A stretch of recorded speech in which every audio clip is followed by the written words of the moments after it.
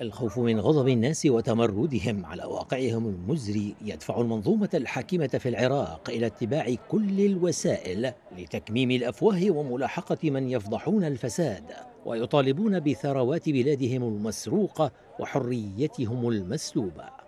ومن مشروع الجرائم الإلكترونية الذي قيد حرية الناشطين إلى مشروع حرية التعبير والتجمع السلمي الذي يسعى البرلمان إلى تشريعه وجعله وسيلة لتقييد الحريات ومنع أي انتقاد يوجه للفاسدين في السلطة.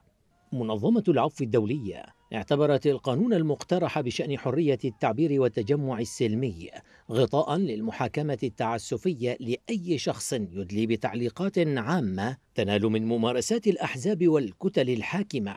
وأعربت المنظمة عن قلقها من هذا المشروع الذي يضيف صفحة سوداء أخرى إلى القضاء الذي يخضع لأهواء السياسيين النافذين القوانين الجديدة تحد من حرية الوصول إلى المعلومة وتحمل كلمات فضفاضة يمكن استغلالها لاعتقال أي شخص تريده الأحزاب الحاكمة بحسب ما أكدت منظمة العفو الدولية.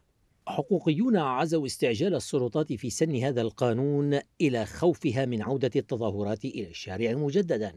لذلك يمكن لهذه القوانين ولا سيما قانون التجمع السلمي أن تمنع اندلاع أي تظاهرات وتتيح ملاحقة الناشطين البارزين فيها تحت ذريعة الإخلال بالقانون العام وإثارة الشغب وغير ذلك من التهم التي تسوغها القوانين الجديدة.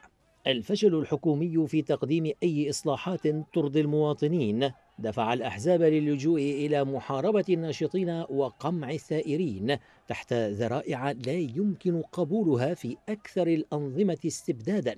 لكن العملية السياسية تدرك أن وجودها مرتبط بقهر الناس على قبول الأمر الواقع وأنها فقدت أي دعم شعبي بعد أن أيقنت أن التظاهرات المتعاقبة هي الطريق الذي اختاره الشعب العراقي. لتغيير المشهد السياسي بالكامل.